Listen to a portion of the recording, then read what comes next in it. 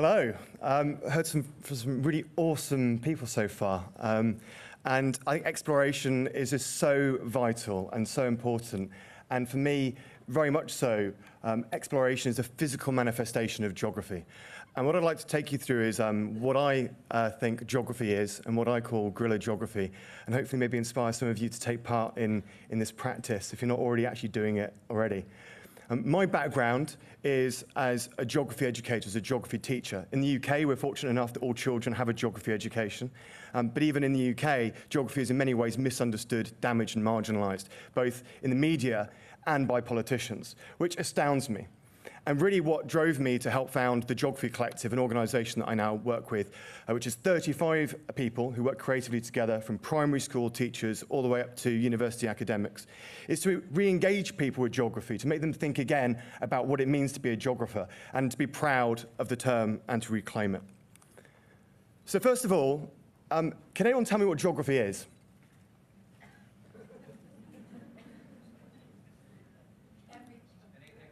Ah, you've, you've heard me. I love that. That's fantastic. For me, geography is anything that happens somewhere, right? Hogwarts, Middle Earth. These are real places in our imaginations, and even places which we say are real, all we can do is imagine those places. They're not really real. And by the time we think we know those places, they've changed, so we don't really know them anymore anyway, which really brings about sort of the idea, well, what's the point of geography if it's everything? And I love this quote from the band Faithless. You don't need eyes to see, you need vision. You know, geography, being a geographer, being a geographer is about a particular lens. It's a viewpoint. It's a way of seeing the world. It's seeing patterns and systems. It's about making connections. My wife is currently in her second year of a PhD in geography, and she's looking at how um, women um, have been detained in the UK prison system after fleeing persecution in other countries, and looking at how their relationship with home, however they conceptualize that, impacts on their mental health. She shares a desk with someone who works um, studying pollen in ice cores to work out the effects of climate change in the, in the distant past. And I think many of us in this room can make the connection between the issues of climate change and how detention and refugees and the mental health and well-being of people may be influenced in the future you know, you, we've seen these massive connections. So guerrilla geography. yeah, guerrilla geographers could study gorillas, like gorillas. Guerrilla geography is about thinking creatively. We need creative new solutions at a political level, at an educational level. But in many ways, and the geographer Doreen Massey talks about this, there's like a hard shell of ideas in the legal system in which we operate and the way that businesses work and that's fixed, that's not moving. There's no crisis of need for creativity in that area, it feels. People subscribe to that. Yet in the environment, in tiger populations, in all sorts of wildlife situations, in terms of climate change, we do face crises.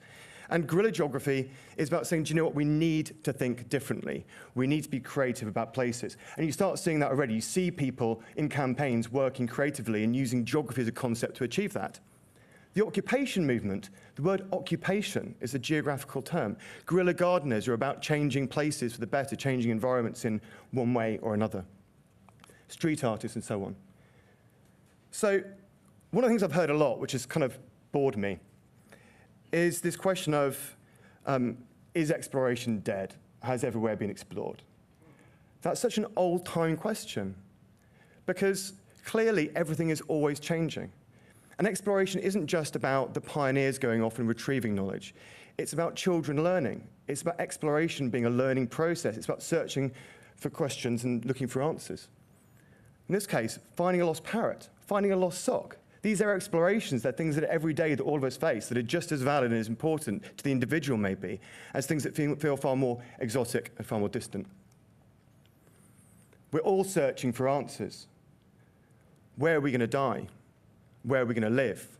Where are we going to go on holiday? What's our identity? Where are we from? All geographical ideas. So guerrilla geography is about encouraging people to see the world differently. It's also about encouraging people to think about how the world see them. And it's also about saying to children and to ourselves that we make places. We are placemakers. It's inevitable. By the fact that everyone is here, we are making this place that we're in right now. Wherever you are, you're shaping and making places. And whenever you buy or consume something, you help to shape or make a place elsewhere on the planet. When you get home as a teenager and you speak to your parents, in that moment when you're asked, How was your day? you have the option to sort of go phew and walk up to your room and maybe have a slightly sour household. Or to ask your parents, You know, how was your day? And give them a hug.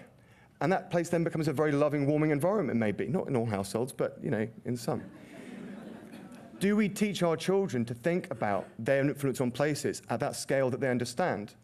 Or do we want to form a geography that's like, do you know what? I want you to imagine this distant place that's got absolutely nothing to do with you.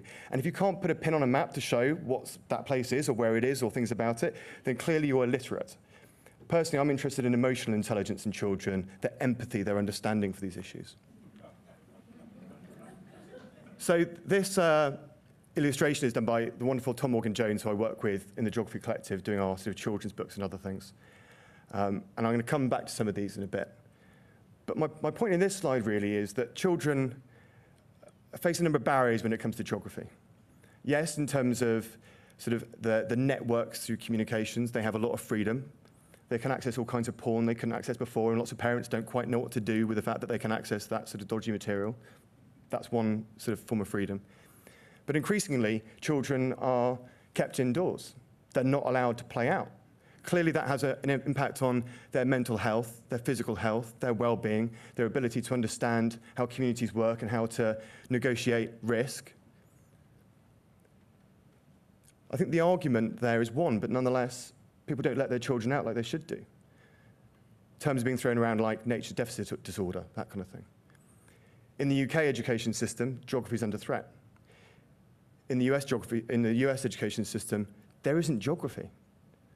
This sticker here is from the education team who do awesome work at National Geographic and who I have the pleasure to work with, trying to make sure that geography appears in the education system in this country. Geography is at the center of what everyone does. So, so how can it not be firmly in the curriculum. It just doesn't make sense. It has so many answers. It helps children to understand the world around them. It's almost like there's a conspiracy, right? We don't want them to understand and make these connections between different things. That's somehow a danger or a risk.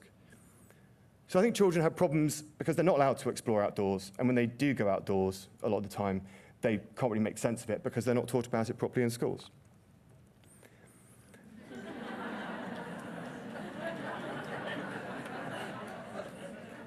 I'll be back in a moment. So I'm thinking that. Um,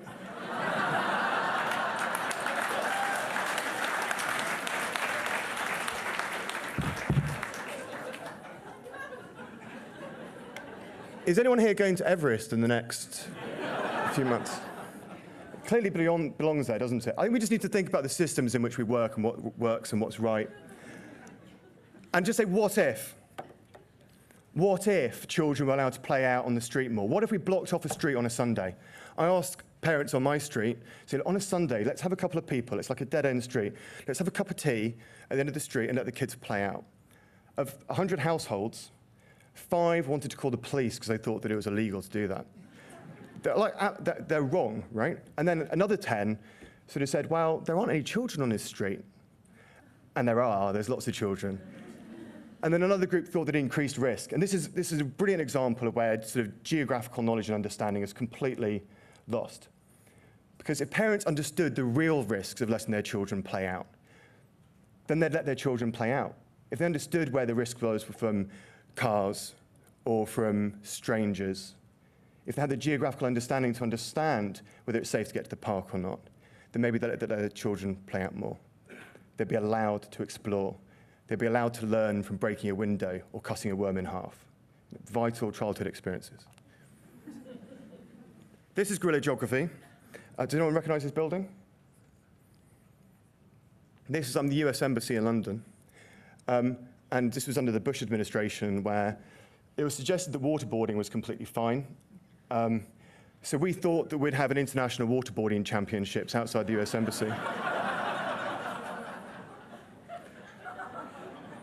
But to be clear, ball games I don't think they're like the Mayan sort of form of ball games, but you know, sort of ball games not allowed, waterboarding completely fine. And it's just using, it's using a geographical principle. Street artists do this a lot. It's about put, taking something out of place and putting it into another place to make people think differently about it. So in an education context, I wouldn't recommend waterboarding with children. It's about saying, you know, any, any classroom environment involves, includes a teacher, a learner, an environment, an activity, and a subject. How can we make any of those more regular or irregular or quirky? And sadly, you know, this sort of section is called Geography Teaching from the Edge.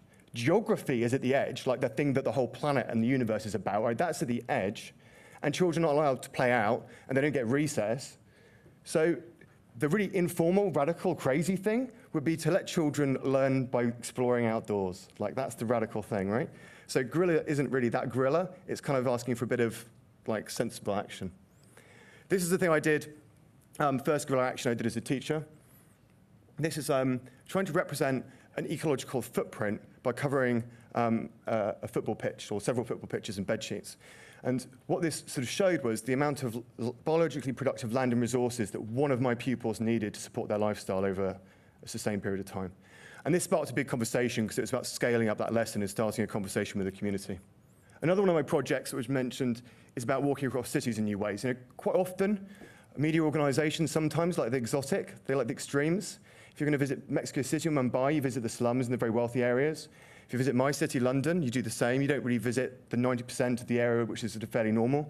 And this project was about saying, what if we walked across a city, taking a photograph every eight steps, but the route being defined by um, trying to represent deprivation for what it's really like in different areas, rather than by our own human biases. And in this case, taking a photograph every eight steps. And actually, on this particular walk, one of my friends sticking on the theme of play, sort of got up on this slide and sort of decided to sort of take a picture. And actually, to get to this slide in this play park, we had to um, cross over this very busy highway. And he sort of suffered an amazingly severe electric shock because the town council had decided that it would be a really great idea to put a play park not only between two highways, but with electric pylons over the top as well. It's geography, right? It's like lack of geographical understanding. So Mission Explore. Mission Explore is a project we started that's all about encouraging children to get outside and be curious, creative, and critical. I think STEM is really important, but I think that's for the employer, not necessarily for the individual. I think children need to have fun and play in the woods. And we do this project uh, with great support and sort of closely tied in with the education team here through a series of children's books, a social gaming website, which, again, the education team here uses for part of their Geography Awareness Week, which is all about giving children points and badges for going off and doing missions in generic and specific places. We go places like Glastonbury, which is one of the biggest um, music festivals in the country. And when we do that, we work with children to make their own books. They become authors. They become explorers. They learn that they are um, explorers themselves. And we recently got a spaceship as well. That's my son. And when we talk to children, what we say to them is, do you know what? You are a space explorer, a time traveler, a spaceship. You carry ideas around with you and you can move them around. You are a placemaker. You can change places through your actions by understanding issues like sustainability. We try to be inclusive in the way that we work, both in terms of gender, ethnicity, in terms of disability, to be as, as inspiring as we can. And this is all about saying, do you know what? You want to explore, experiment, experience, and develop expertise in the world. So things like investigating the murder of an animal, trying to find a lost cat, trying to cross a wood without touching the ground, measuring distance by having a roll around. Who can find the most beautiful poo? Is it really luckier if you walk uh, sort of outside a ladder rather than under it and so on? Comparing the amount of uh, wildlife to pollution in a river.